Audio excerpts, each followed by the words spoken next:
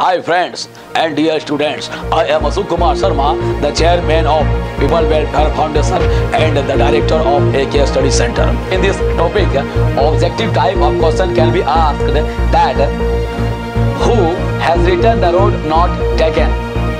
This poem road, the road not taken is written by Robert Frost and uh, from where does Robert Frost belong to? The answer will be America. And who was Robert Frost? Robert Frost was uh, a poet from American poet. Did Robert Frost have a regret over taking second option or decision of going on the second road? That answer should be yes.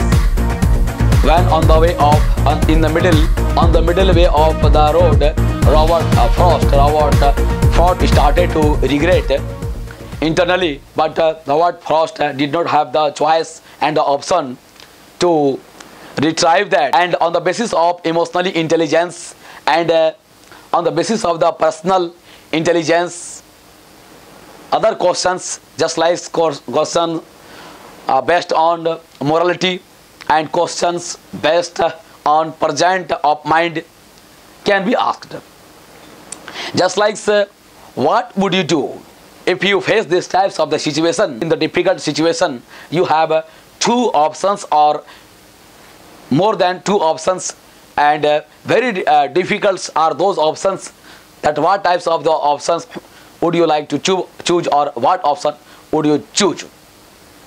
Difficult option or you will uh, think that is the easy option. The what types of the choice what types of the reply and uh, your answer will be तो किस तरह का तुम्हारा प्रतिक्रिया होना चाहिए अगर तुम मुश्किल के घड़े में कहीं घिर जाते हो? तो किस प्रकार का डिसीज़न तुम्हें लेना चाहिए? तो कुछ विद्यार्थियों का स्टैंड हो सकता है कि I will take that types of the decision if I will be in under consideration और प्रॉब्लम और कॉम्प्लेक्सिटी अगर हम मुश्किल में जटिलता में पड़ जाएँगे तो डिसीज़न लेने के लिए हम अपने पेरेंट्स से, अपने फ्रेंड से, अपने सीनियर से हम सुझाव ले सकते हैं और अपना डिसीज़न लेंगे। दिस में be also stand and you can also take this stand that I can choose a best decision according to the situation circumstances what will be the better according to me, there, that place. तो कौन सा decision जो है मेरे लिए अच्छा होगा। And this is also you can see this is the expression of sigh एक चिंता भरा और एक लैक ऑफ़ कॉन्फिडेंस एक expression this is also an example of the sigh तो आपके पास, आपका बहुत सारे ऑप्शन हो सकता है कि आपको डिसीज़न आप ये कह सकते हैं कि मैं जब डिसीज़न लूँगा तो डिसीज़न लेने के लिए हम अपने पेरेंट्स से पूछ सकते हैं, अपने फ्रेंड से पूछ सकते हैं सीनियर से पूछ सकते हैं। या अपने फैकल्टीज से पूछ सकते हैं टीचर से पूछ सकते हैं या जो इसको जानते हैं एक्सपर्ट को पूछ सकते हैं या आप ये भी कह सकते हैं कि अगर वैसा सिचुएशन आ गया तो उस घड़ी में हमारे पास जानकारी होगा और उस सिचुएशन के हिसाब से अगर मैं अकेला हूँगा तो मुझे जो अच्छा लगेगा मैं वही डिसीज़न लूँगा। तो this is the basic information of these topics. Actually and uh, there are uh, number of the words powers, i would like to clear. बहुत सारा वर्ड है इस टॉपिक में, जिससे मैं समराइज कर देता हूँ। ऐसे आपको याद कर लेना चाहिए। वांटेड वियर जिस रास्ते पे चला नहीं गया है, ले मीन्स दाव लगाना, रखना, साई मीन्स गहरी सांस, लेना या गहरी सांस लेकर कोई काम करना। एज एंड एज हैंड्स सदियों बाद डाइवर्ज डाइवर्ज मीनिंग विभक्त।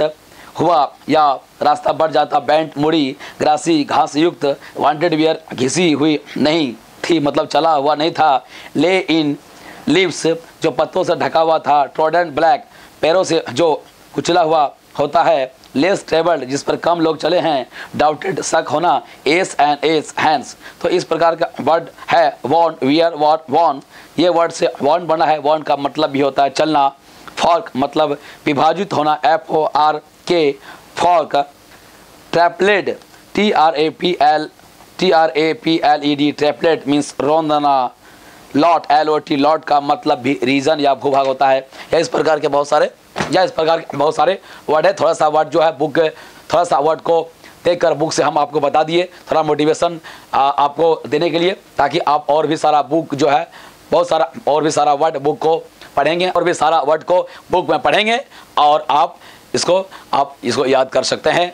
जो वर्ड आपको समझ में नहीं आए, उस वर्ड को आप इंटरनेट का सहारा लेके डिक्शनरी का सहारा लेके गूगल का सहारा लेके भी आप उसे खोज सकते हैं और आप खुद उसको अंडरलाइन करिए और उसको कीजिए और आप इसको बढ़ाइए। इस टॉपिक को एक बार हम लोग शॉर्ट में समराइज कर देते हैं। The road not taken it is written by Robert Frost is an American poet and once there is a time when Robert Frost used to go on the way and after traveling a few distances he saw two uh, roads roads has been bifurcated into two directions left right and that finally he has Robert Frost has taken uh, the road. On that road there was uh, no impact there was no and activities. And while continuing on that road uh, in the middle of that actually he he went on went on went on and he did not uh, get the end and the destination. And in that middle in that isolation uh, place he used to think that it was better to uh, choose the other option. God knows would i be able to uh, reach uh, till the destination or not.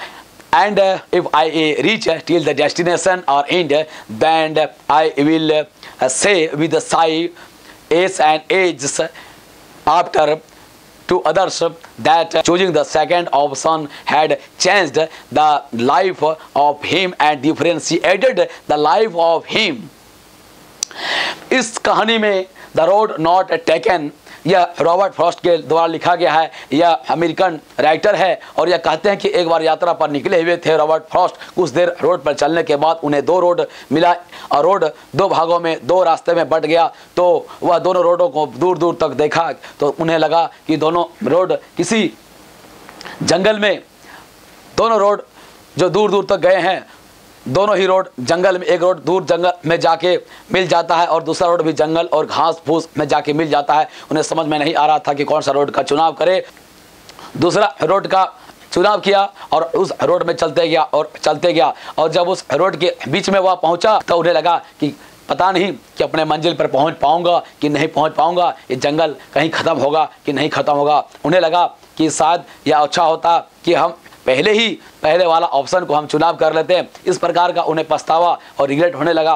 और वह Robert Frost कहा कि जब मैं इस road से बाहर निकल जाऊँगा, इस जंगल से बाहर निकल जाऊँगा, जब मुझे मंजिल मिल जाएगी, तब मैं लोगों को बहुत ही बहुत ही सदियों सदियों बाद, बहुत वर्षों के बाद, सैकड़ों वर्षों के बाद मैं लोगों को बताऊँगा।